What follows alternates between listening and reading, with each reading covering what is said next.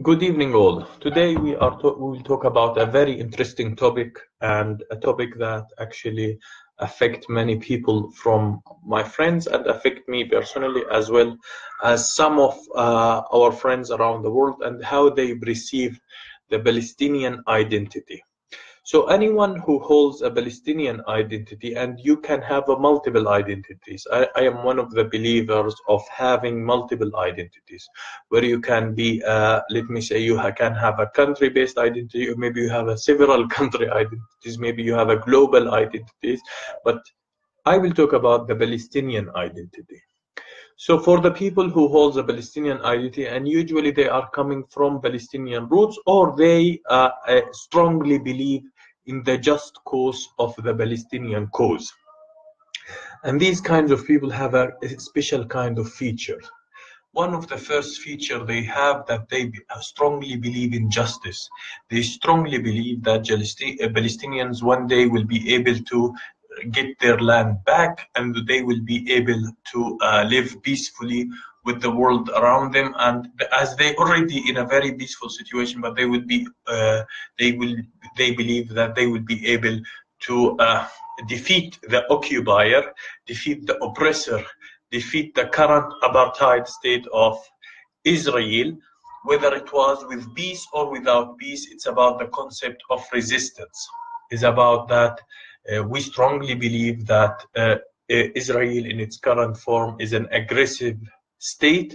They have uh, many aggressive acts. So, for example, 15 people were killed yesterday as a re result of a peaceful protest and we see this with the settlements.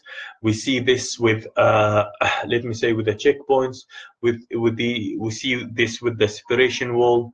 Uh, we see this with israel as a, an occupier of palestine. And this uh, eh, no matter what you try to describe Israel, it will you should you will always be able to describe it as an aggressive state. Whatever the solution you believe in for the cause, whatever the kind of uh, agenda you believe in, Israel will always be based on all merits an aggressive state. It will always be a, a state that is using imbalance, uh, imbalance. Uh, like, uh, like excess, uh, it will always be a, state that is using excessive power against civilians. Now, coming back to the Palestinian identity, so the Palestinian always believe that justice one day will happen, and this justice will be will affect his current situation and his control over his land.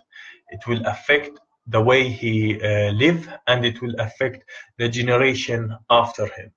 So the that's the first part. He strongly believe in justice.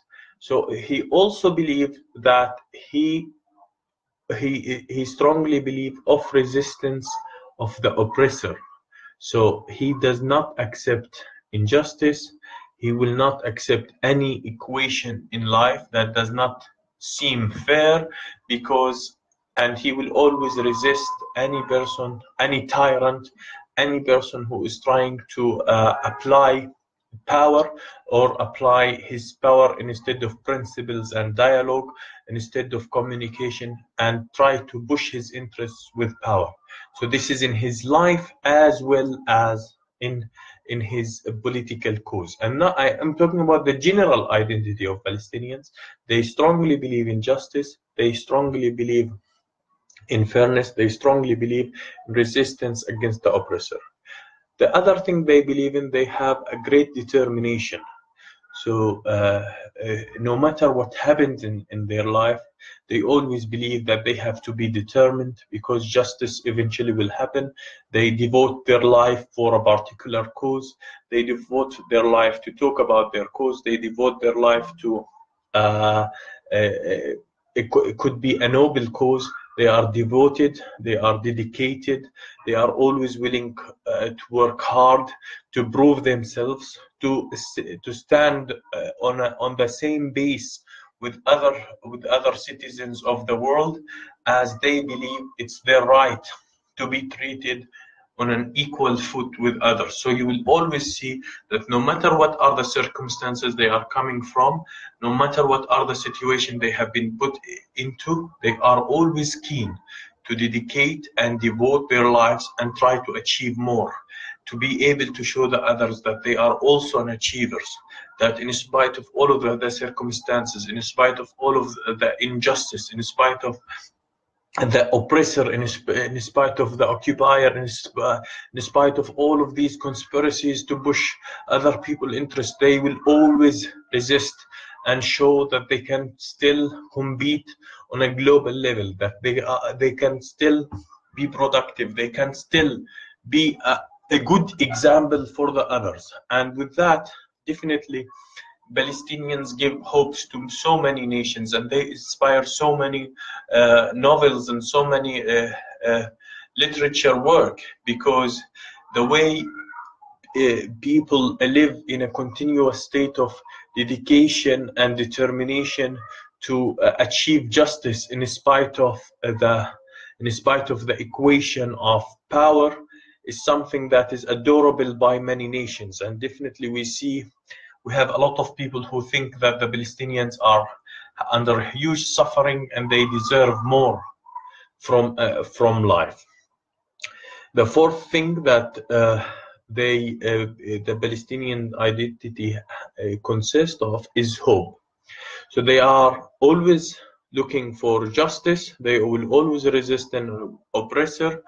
They uh, I'm talking about general identity, and they will always uh, if I may say, they will always be dedicated and devoted. And maybe this is an exaggeration, but maybe this is the ideal Palestinian character.